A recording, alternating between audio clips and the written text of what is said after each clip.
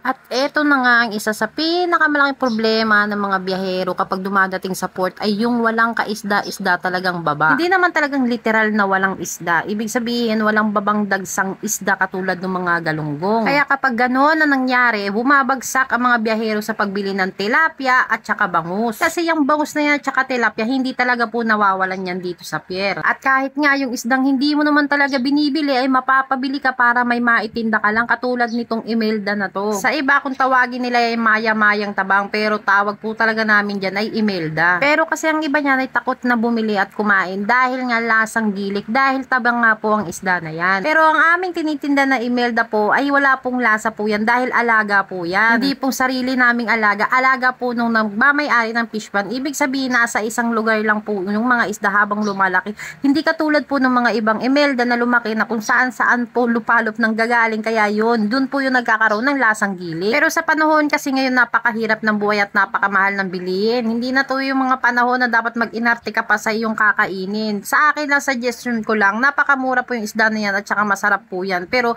wala po tayong magagawa kung ayaw po nung ibang kumain. Siguro dahil nadala na sila sa mga nauna nilang nabilhan. So sana ngayong araw na to ay maubos tong panindang isda namin or matirahan man lang kami kahit konti para konti na lang yung hahabulin namin para makapamili uli kami ng panibagong isda. Dahil sa ganitong negosyo, dapat talaga nadidispose ang isdang mismo sa araw na yun na pinamili para kinabukasan ay fresh uli ang mabili mo. Alam mo naman ang isda kapag hindi naubos at tinabot pa ng kinabukasan at ng pangatlong araw ay nag-iiba ng itsura noon at tinatawag ng bilasa. Kaya maaari bago lagi ang latag naming isda para hindi din kami masira sa mga customer namin at babalik-balikan kami. So hanggang dito na lang mga Mariko at magtitinda pa ako. Maraming salamat sa mga nanood at mag-share at kung hindi ka pa nakapollow sa aking FB page baka gusto mo naman akong ipollow or mag-comment or mag-like ka na lang sa aking video. Salamat po!